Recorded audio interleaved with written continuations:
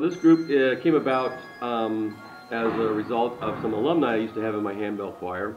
There are three alumni that uh, settled in the area, and they, they play in their church choirs. And of course, church choirs do fine, but this um, those folks are looking for a little extra challenge, like maybe what um, we've done previously here at Augustana in the handbell choir. And so um, they put the idea out that, well, can we form a community group? And I'd always thought maybe we could, but now with this core of folks, it made it a little easier.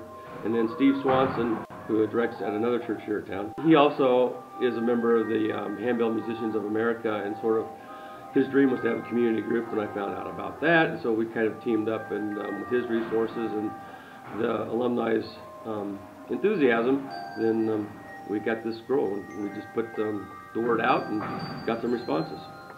On Mother's Day, we have our first debut concert, and um, it's Mother's Day at 3 o'clock here in Ascension Chapel. It's free, open to the public. So we're going to give the dads an opportunity to bring moms for a little entertainment, free of charge. And then afterwards, there are going to be gourmet desserts offered down in the dining hall. And uh, so it's an easy way to not um, to have a little entertainment on, on Mother's Day, not be so stressed out, battling um, the restaurants a little bit, and then um, come hear some good music too. The hope would be that we would um, play at some national um, Handbell Association conference. Um, community groups get invited to do that. It's a, by an audition process only. Um, I don't know.